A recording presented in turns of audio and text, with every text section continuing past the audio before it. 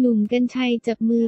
88 ไทยแลนด์ เลี้ยงขอบคุณตัวแทนจำหน่ายไลโอ เรียกว่าทำเอาวงการธุรกิจคึกคัก เมื่อผู้ประกาศข่าวพิธีกรสุดฮอต หนุ่มกัญชัยกำเนิดพลอย จากรายการ เที่ยงวันทันเหตุการณ์ และรายการโห นกระแสทางช่องสามกระโดดลงมาลุยธุรกิจเต็มตัวกับไลโอ ผลิตภัณฑ์เพื่อการดูแลเส้นผมและหนังศีรษะ คิดค้นสูตรโดยเภสัชกรด้วยการจับมือกับบริษัท 88 ไทยแลนด์จำกัด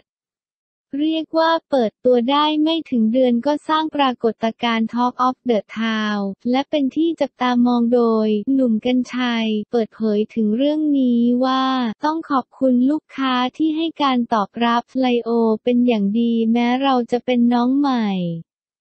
แต่จริงๆ เราเก่ามากอย่างที่ผมเคยบอกว่าผมเคยใช้มาก่อนเมื่อประมาณหลายสิบปีแล้ว ซึ่งตอนนั้นเขาขายในร้านขายยา แต่มีอยู่ช่วงหนึ่งที่หายไปผมเองก็หาซื้อไม่ได้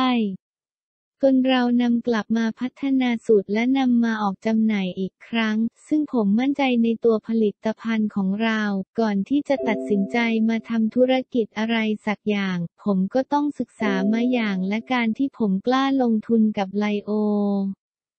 เพราะว่าทำพิสูจน์มาแล้วว่าของเขาดีจริง ๆ อีกอย่าง partner ที่ผมร่วมจับมือกันถือว่าเป็นบริษัทที่ยิ่งใหญ่และมั่นคง ผมเชื่อไลโอจะเป็นอีกทางเลือกหนึ่งให้กับคนที่มีปัญหาเรื่องเส้นผมครับ